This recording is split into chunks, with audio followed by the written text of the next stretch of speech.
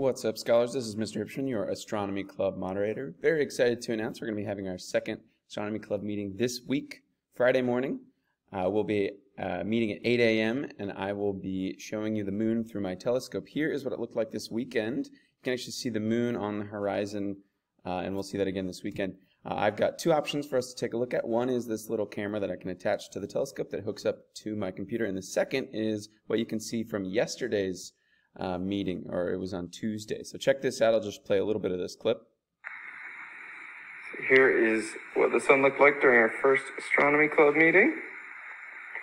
If you missed it, that's okay. We're going to be opening up a Google Classroom and we got a chance to look at the sun through the telescope. We had a So those details for the Google Classroom will be included in the announcements, uh, and I can't wait to see you all.